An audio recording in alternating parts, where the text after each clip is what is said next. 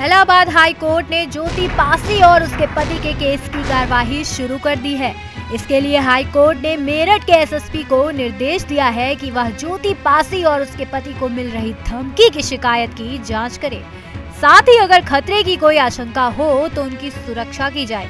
Court ने SSP को एक हफ़्ते में आदेश पारित करने का भी निर्देश दिया है।